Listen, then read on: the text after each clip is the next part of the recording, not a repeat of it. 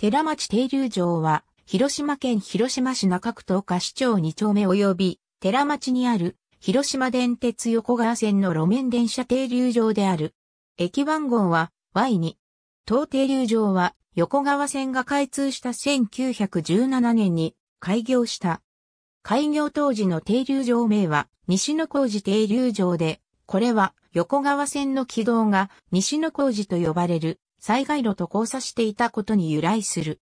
当時の横川線の軌道は道路から軌道時が独立した専用軌道であり、雲石街道の西側に敷かれていた。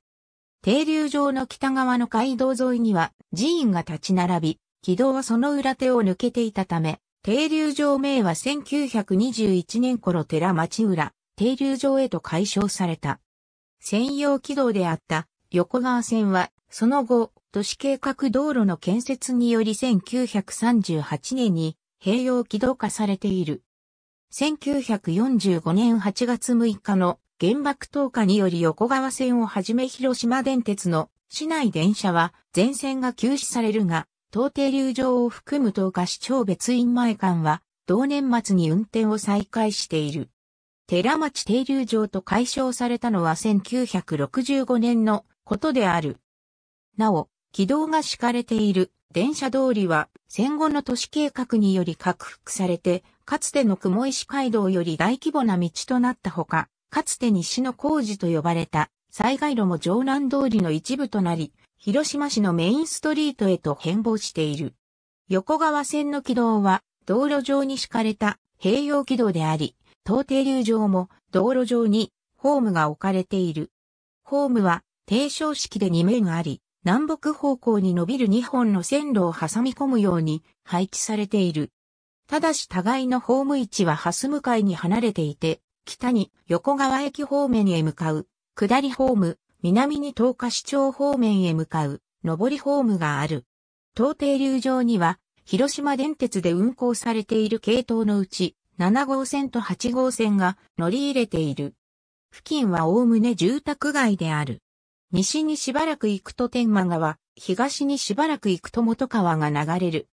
北隣の別院前停留場まで、東側一帯に寺院が立ち並ぶ。南西には広瀬神社が鎮座しており、1942年までは、東停留場の南隣に広瀬神社停留場が存在していた。広島県駅乗降客数。2021年3月11日閲覧。